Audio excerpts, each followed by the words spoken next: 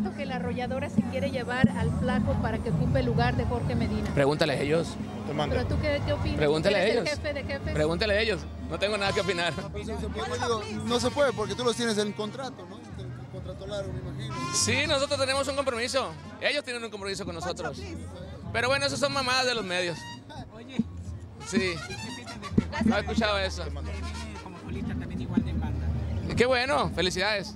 Eh, mientras más agrupaciones sigan surgiendo, esto se pone más, más fuerte en nuestro género. La, la clave para la hora de ustedes ya son casi ocho décadas, Ponchito, y aún así, en todos lados son bienvenidos, en ningún lado, en ninguna ciudad les prohíben que toquen. Y muchachos que apenas están empezando, Gerardo Ortiz, otros que tienen problemas ahí que no pueden tocar en ciertas ciudades. Pues es, es muy, es muy lamentable, es muy lamentable que de repente a nuestros compañeros se les cierren las puertas para poder interpretar su, su música.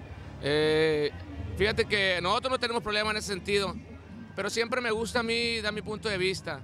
Y mi punto de vista es que yo pienso que o todos coludos o todos rabones no pueden prohibirle solamente a, unos cuantos de nuestro género y te das cuenta que en la televisión pues salen cosas fuertes de, violencia, de drogas. Entonces, eh, creo que tenía que estar más regulado en ese sentido y ser más general, no nada más enfocarse en nuestro género, ¿verdad? Porque eh, creo que se ensañan con el género regional mexicano y eso no debe de ser así porque hay otros géneros que también hablan de música muy fuerte, muy pesada, y más sin embargo los apoyan, ¿no? Entonces, yo creo que hay que, hay que, hay que pues, tomar en cuenta ese tipo de detalles, ¿no? Pero si no lo, los demás agrupaciones no lo dicen, ¿no? Creo que la única persona que lo decimos somos nosotros. Pero yo lo digo y a mí no me importa decirlo, lo digo con mucho gusto.